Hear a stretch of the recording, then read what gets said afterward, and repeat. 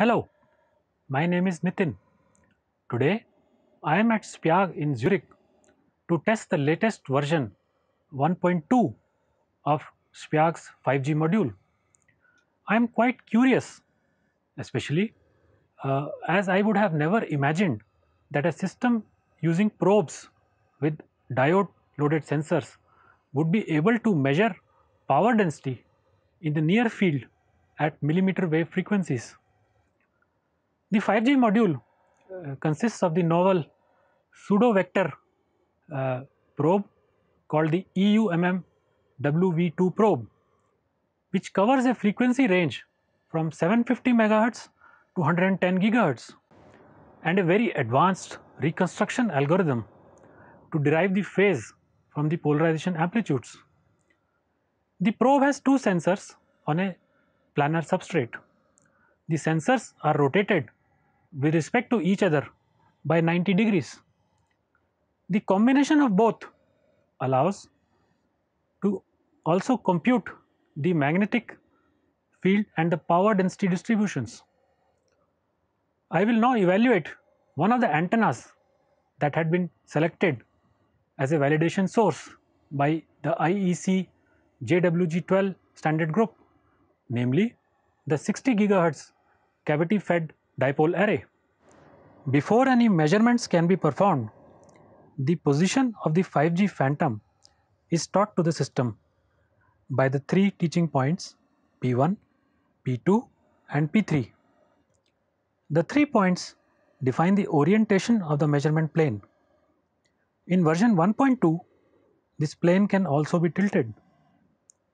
As you see, I perform the teaching and testing of the scan setting with a dummy probe as the EUMM WV2 probe is very expensive and fragile. Next, we attach the real probe to the data acquisition electronics followed by mounting the probe cup with absorbers onto the assembly. I then remove the protective cover carefully. We are now ready to create a project in the DASY 6 software. To create the project, we enter the dimensions of the device under test. In our case, the dipole array with the dimensions 20 millimeter into 20 millimeter followed by the test distances. So, 2 and 10 millimeter. We also have to specify the communication system. In this case, it is continuous wave. The dipole array device is positioned on the phantom and we now teach the surface of it in the center of the device to the robot system. This point is used as the initial center for the fast scan. In this version of 5G module, we have two types of scans, the regular 5G scan and the new fast scan. The fast scan is a quick single layer scan over the area of the DUT and it gives the radiation pattern as well as the location and number of peaks.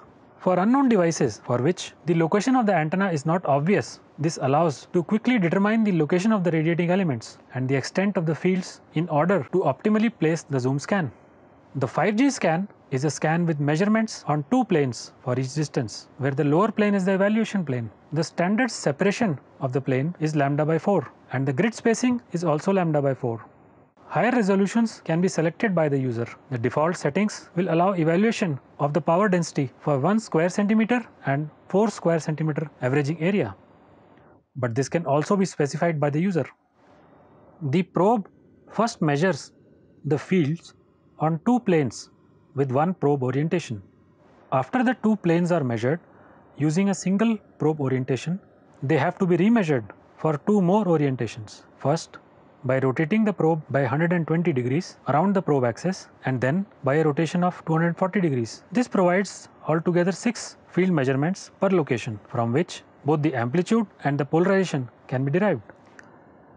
The measurements are now finished. The 3D display shows the electric field distribution in the measurement planes. The magnetic field, the power density and the average power density can also be visualized in the 3D display. The report from the software lists all of this information in a clear and detailed fashion.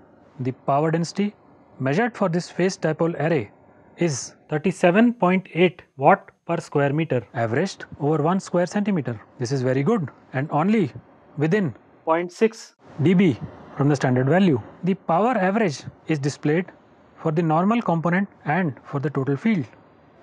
As you have seen, the 5G module in DASY 6 extends the capability of the system to do compliance measurements at frequencies above 10 GHz. To achieve this, only the novel probe and the new software module need to be added to the existing DASY hardware.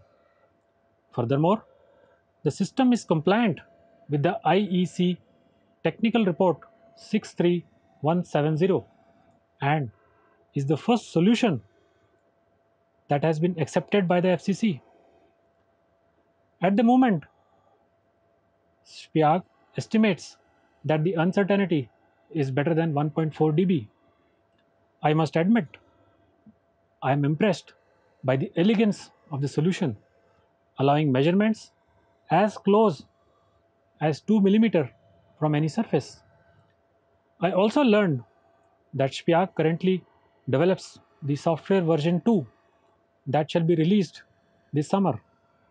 The main new feature is that it will estimate the worst case power density for worst case phase combinations based on measurements only.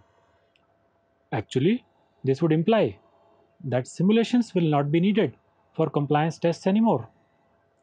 Other scheduled features include conformal surfaces and combinations of SAR and power density values. This will make the 5G module a universal tool for testing compliance with any regulatory requirements. Thank you for watching this video.